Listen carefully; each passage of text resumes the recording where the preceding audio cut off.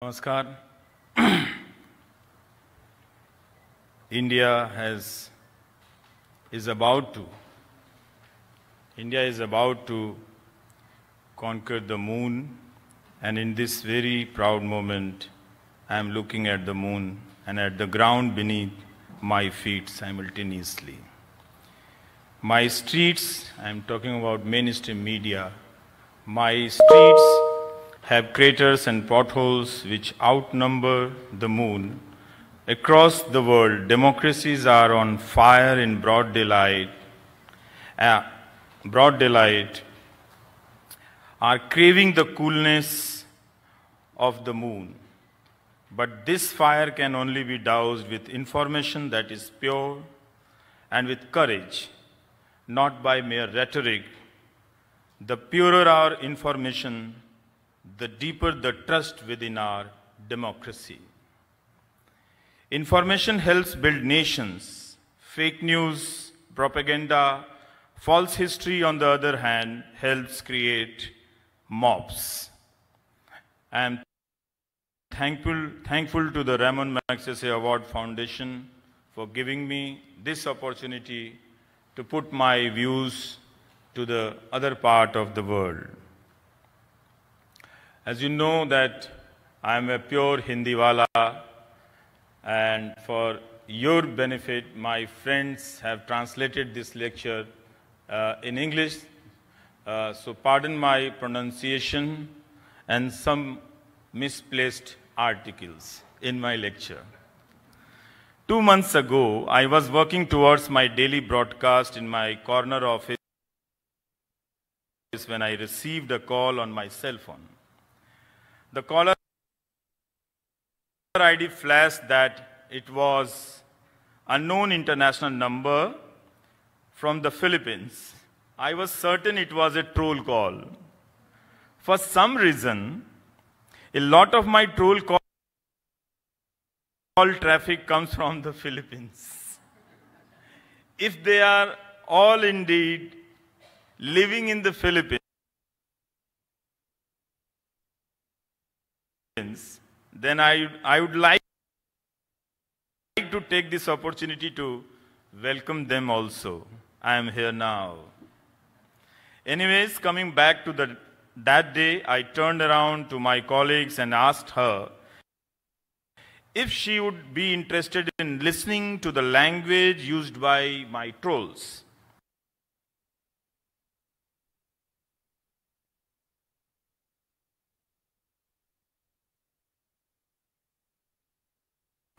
I put my phone on loudspeaker and from the other end was greeted by a nice female voice which asked, May I please speak to Mr. Ravish Kumar? I have received thousands of troll calls in my life, but never from a woman. I quickly shut off the speaker and put the phone against my ear in a sophisticated English, the woman went on to inform me that I have won the Ramon Magsaysay Award 2019. Flash forward to this. When I am here with you, I am not here alone. I have brought the entire world of Hindi journalism practiced by Ganesh Shankar Vidyarthi and Peer Munis Muhammad is silent today, even afraid. I am now going to address the topic of the day power of citizen journalism. We are living in testing times as journalists and as a common citizens. Our citizenship itself is on trial right now, and make no mistakes about it. We need to fight back. We need to rethink our duties and responsibilities as citizens. I believe that in today's time, when the attack on our citizenship is all encompassing and the state surveillance apparatus is more overbearing than ever, the individual or groups who are able to withstand this onslaught and emerge stronger from it will be the ones who lay the foundation for a better citizenry and for that matter, maybe even better government in the future. Our world is filled with such determined citizens already who, in spite of pervasive hatred and manufactured information deficit, have chosen to fight back and bloom like the cactus does in the midst of barren, hopeless desert. Standing alone and surrounded by the, by the ever stretching deserts on all sides, the cactus does not think about the meaning of its existence. It stands there to let you know that it is possible. Wherever the fertile plains of democracy are being subverted into deserts, the exercise of citizenship and the fight for the claim over and right to information have become perilous but not impossible. Citizenship effectively requires a free flow of variable, verifiable information. The state today has established full control over the media and the corporations. The implication of this control over the media, mainstream media, and in turn your information flow is that it limits and narrows the scope of your citizenship. In other words, the media controls diversity of the news stories and specifies what inter interpretation of news events are acceptable. The media is now a part of the surveillance state. It is not the fourth state anymore, but the first state. News channel debates take place within a vocabulary of exclusionary nationalism, wherein they seek to replace the collective history and memory of the nation with that of the ruling parties in their viewers in mind. There are only two types of people in the in this news universe narrative, the anti-nationals and us. It is the classic us and them technique. They tell us that the problem with anti-nationals is that they ask questions. Disagree and dissent. Disagreement is the Atma, spirit of democracy and citizenship. The democratic Atma is under relentlessly attack every day. When citizenship is under threat or when it is very meaning has been altered, then what happens to the nature of a citizen journalism? Both are citizens those who claim to speak as the nation and the victim of their derision. There are many countries in the world where this regime, which co-opts the judiciary too, has gained legitimacy amongst people. And yet, when see what is happening in Hong Kong and in Kashmir, you realize that people are still out they are fighting for their citizenship.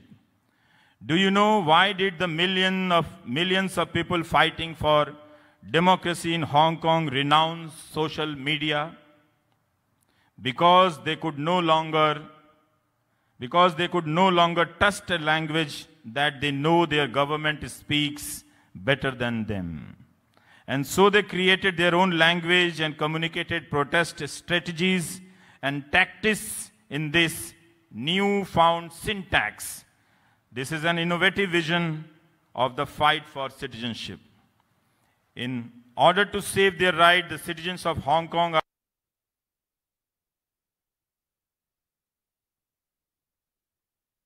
are creating spaces where lakhs of peoples now talk in a new register, where they fight in new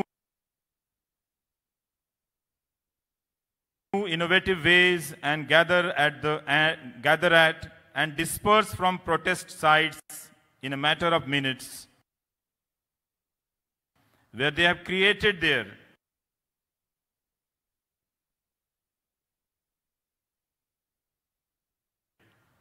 own apps and have, have altered the use of electronic metro cards. They have modified their phone SIM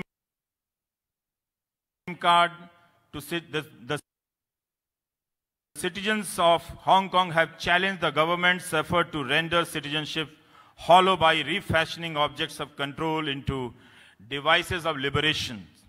The, citizen of, the citizens of Hong Kong were willing and able to extricate themselves from the authoritarian network of information. This tells us that the state has not yet defeated citizenship. Kashmir is another story. An information and communication blackout imposed for several weeks, more than 10 million people cut off from any information trade whatsoever. There was an internet shutdown, mobiles were rendered useless. Can you imagine a citizen without information? What happens when the media, mainstream media, which is meant to gather, process, and relay information, supports the shutdown of all sources of information?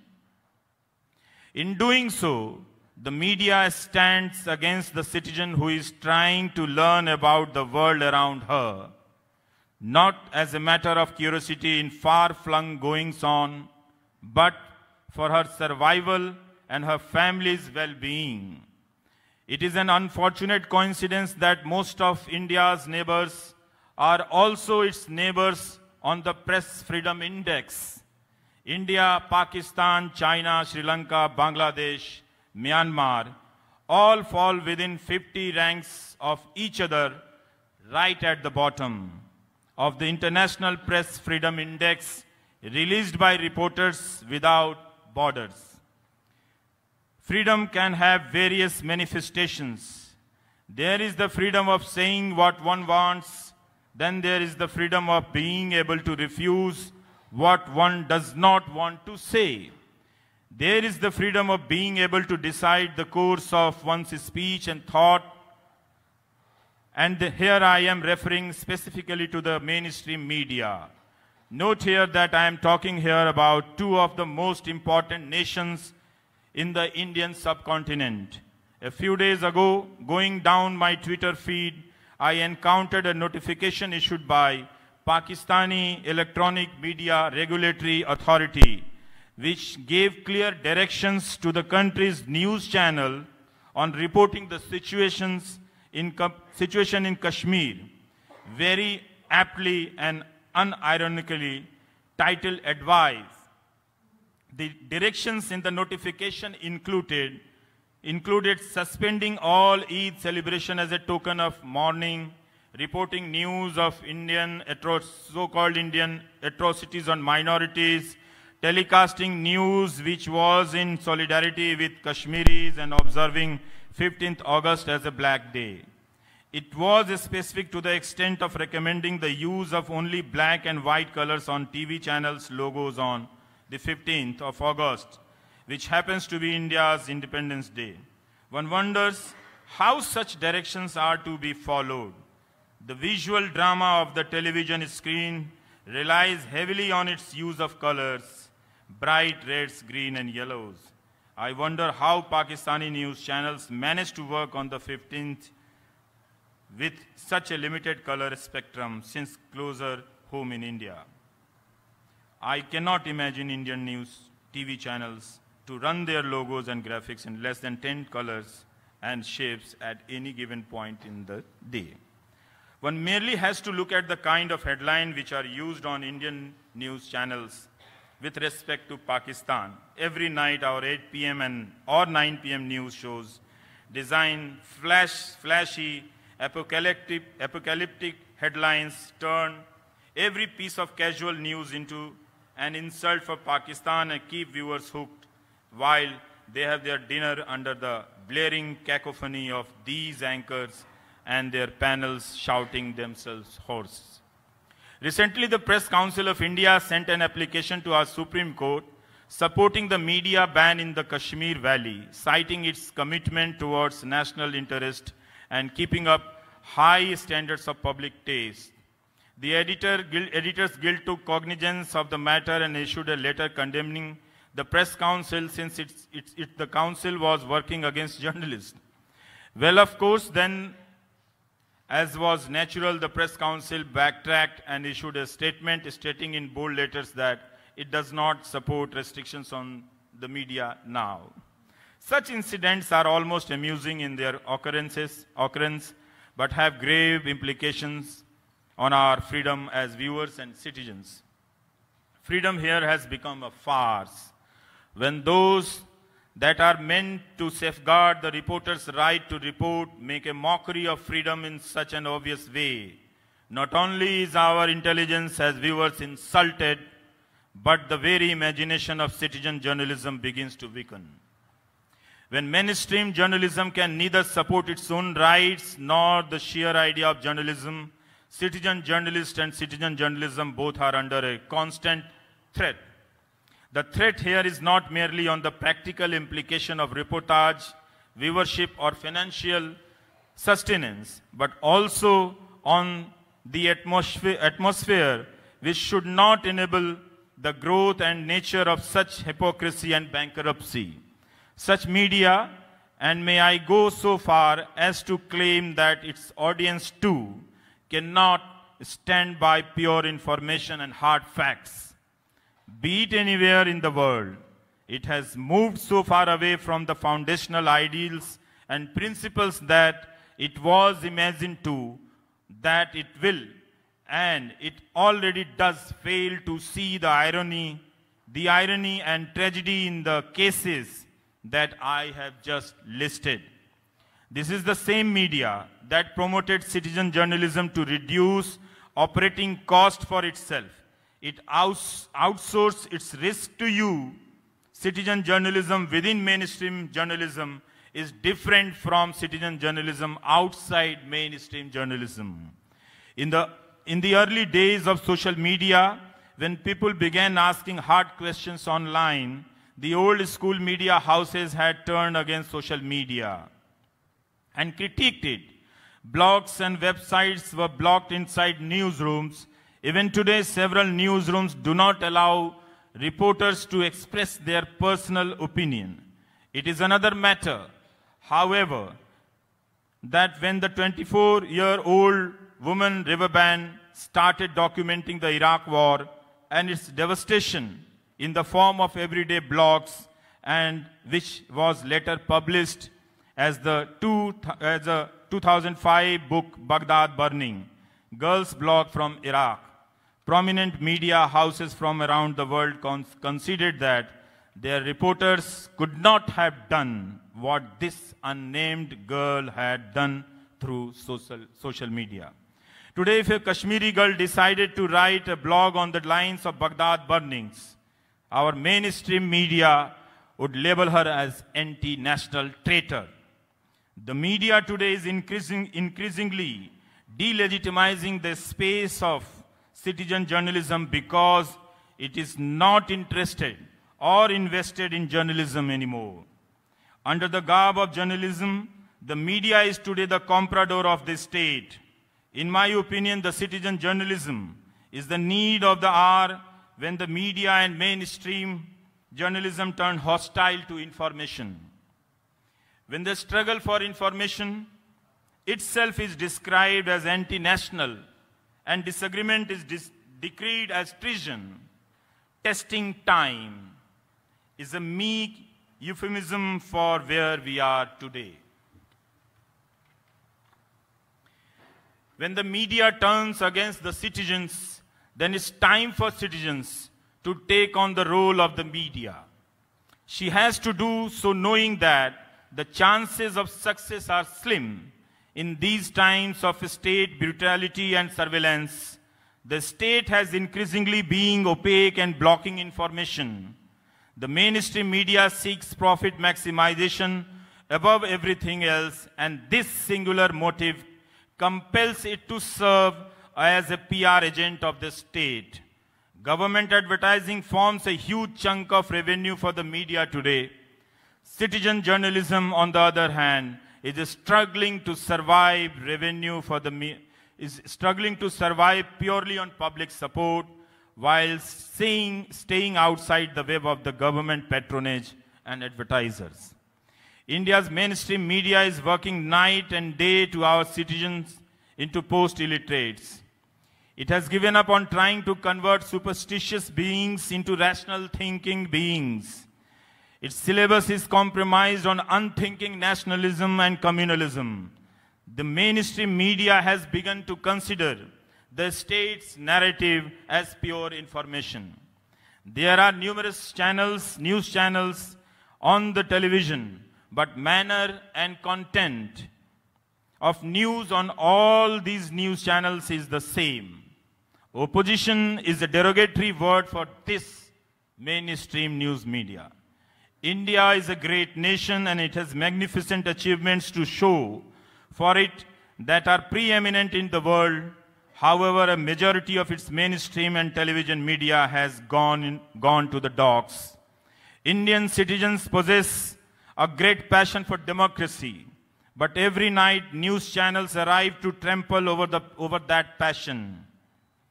While evening, while evening in India may arrive with the setting of the sun, it is the reportage from news media that spreads the darkness of night.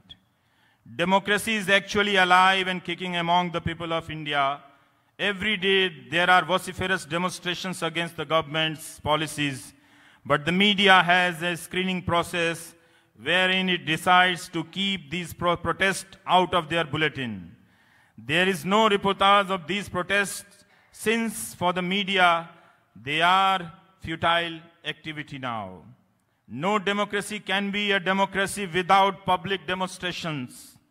As a result, the people involved in these demonstrations have now begun recording videos themselves. In these videos recording, in these videos recorded on their phones, they take on the role of journalists themselves providing a breakdown of the scene of action, let us sharing the videos on the, on the, on the WhatsApp groups of the participants in the demonstration itself.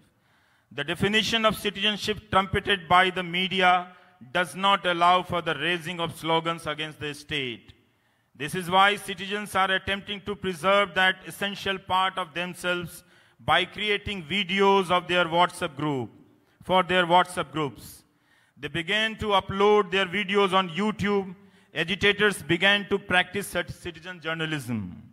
By uploading their videos on YouTube, agitators have become citizen journalists. When the state and media unite to control citizens, is it possible for a citizen to be able to act as a journalist? This is a question to be asked everywhere in the world.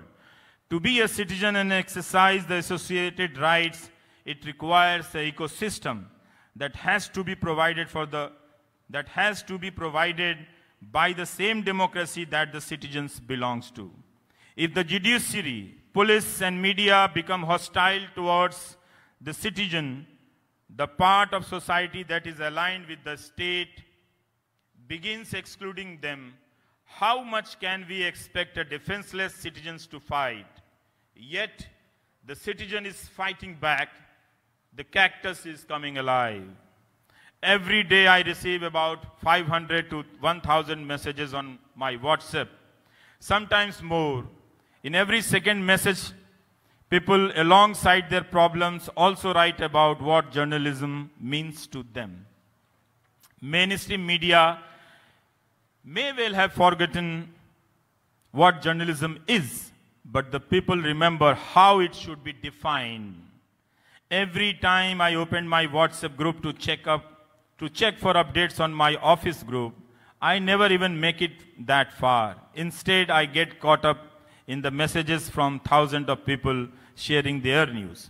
Trolls publicized my number in an attempt to send abuse my way. The abuse sharing their news. The abuse arrived as did threats.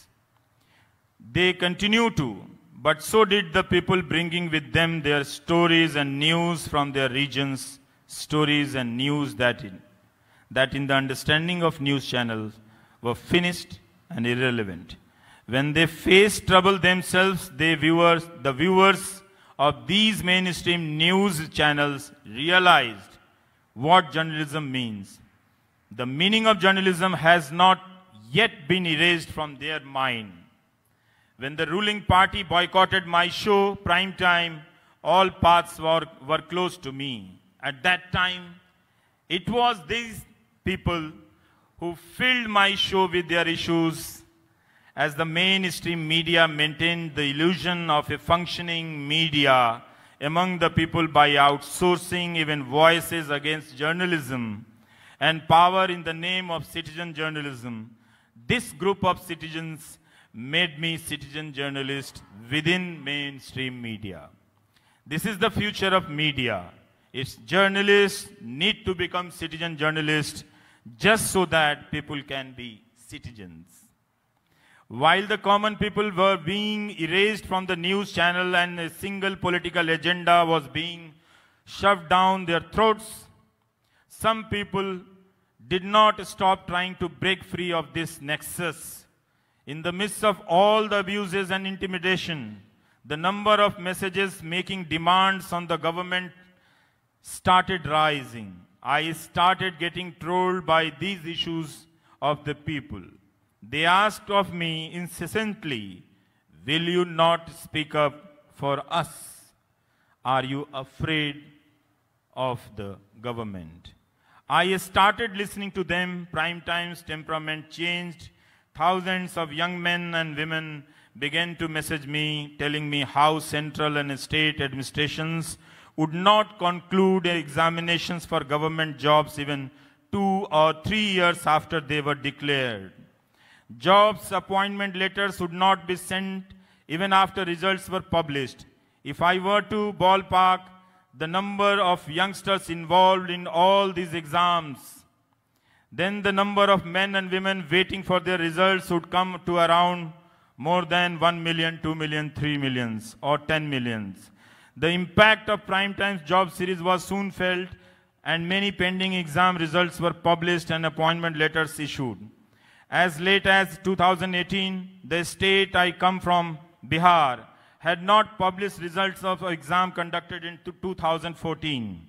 My WhatsApp number has become a public newsroom when my secret sources within political parties and the government began to distance themselves from me, the public became my open resource and source. Prime time has become increasingly, increasingly reliant on people's WhatsApp messages for its composition and creation.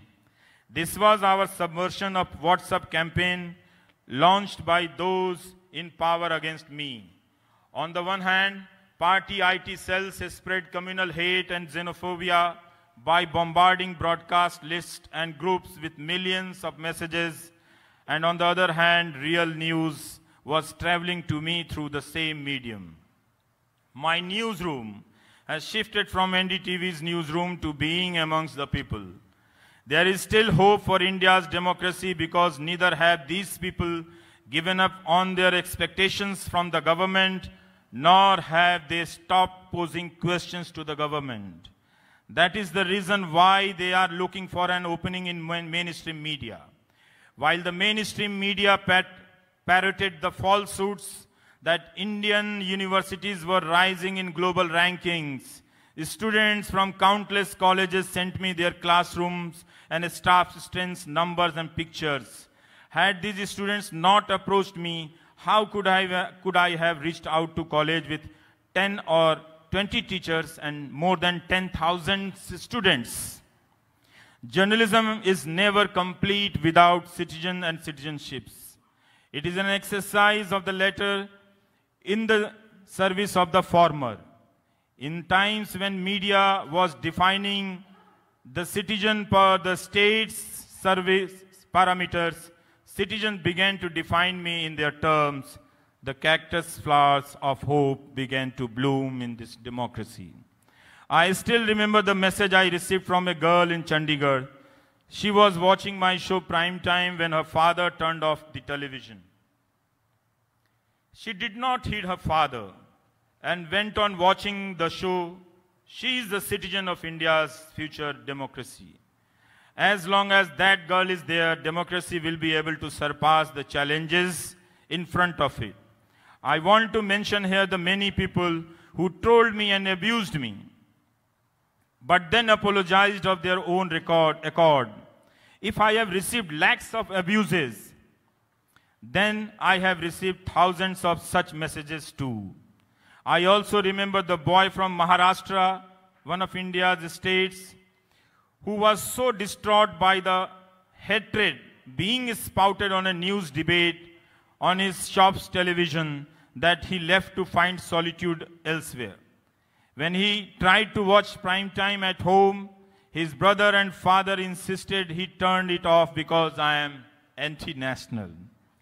The mainstream media and the IT cell have run this campaign against me, and they have run it well for the willing compliance of citizens in restricting the information available to them is a sign of legitimized surrender, abdication. I say this because in order to be a citizen journalist today, you have to struggle with the state and the citizen who is behaving per the state's desire. The challenge is not merely the state, but in equal and often greater measure, those who have act to supplement it will. The people who take it upon themselves to commit atrocities then that they think the state is too constrained to perform.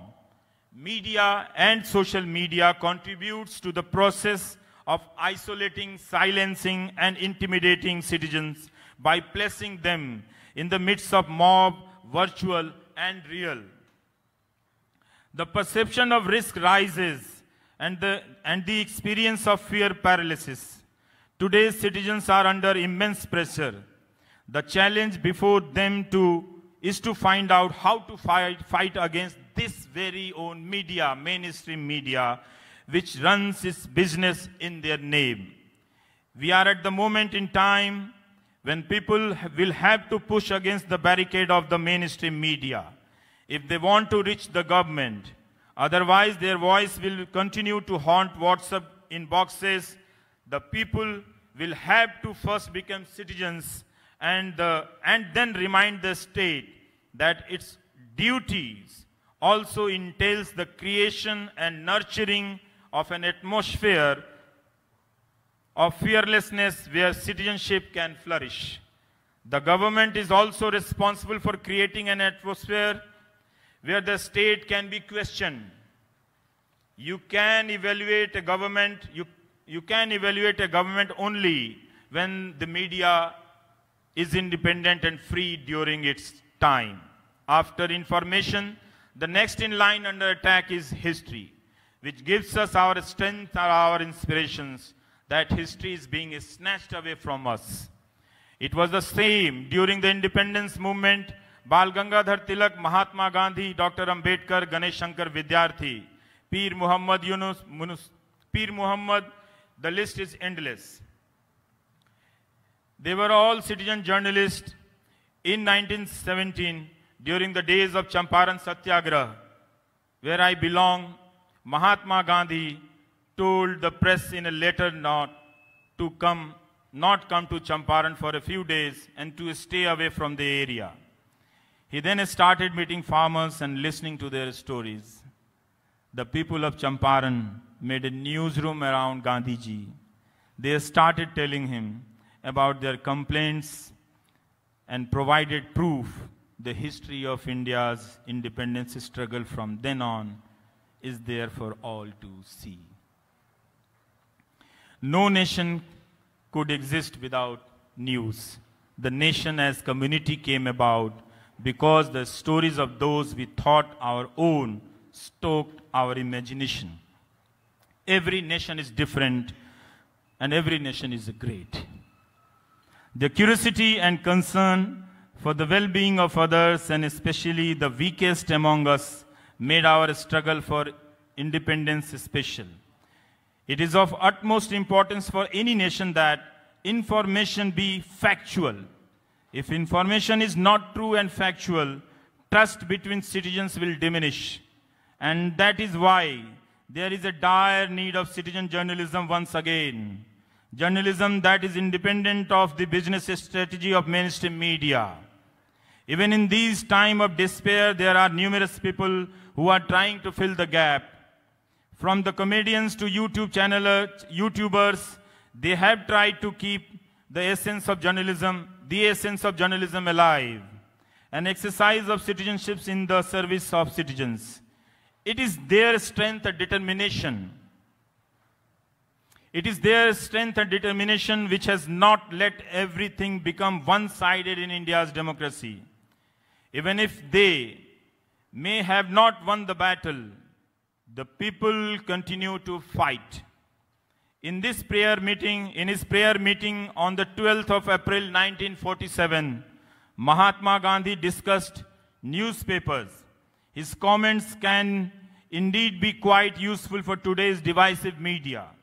Gandhiji recounted how a leading newspaper of the time had published a report alleging that no one in the Congress working committee was paying any heed to Mahatma. He responded by saying that if the newspaper were not going to be authentic, authentic, if the newspapers were not going to be authentic, then India's freedom was of no use. Newspapers are scared today. Any criticism is misconstrued into an invective against the nation. My criticism of the mainstream media, and in particular of news channels, is intended for the sole purpose of my great country. India's newspapers and news channels, be it in any language, incite and provoke conflict between communities. Gandhiji had said, you should throw away these wretched newspapers. If you want any news, oblique information, ask each other. If you do not, if you do want to read, then carefully choose those newspapers which are being run in the service of India's and India, India and India's citizens. In this context, the condition of Hindi newspapers are very bad today. Those that teach Hindu and Muslims to stay together are rare to find in mainstream media today. And Gandhi, had Gandhi been alive today, he would have said that, he would have said what he did on the 12th of April 1947 and what I am repeating here today. We are in urgent need of citizen journalists. During today's time, but even more than that, we need the citizen democrat. We are in the we are in urgent need of citizen journalists during today's time times, but even more than that, we need the citizen democrat. I would like to thank the millions of NDTV viewers across the world, especially in India. I am thinking about all my colleagues at NDTV, and thinking about Dr. Prannoy Roy and Radhika Roy to what consequences they are going to face after this speech.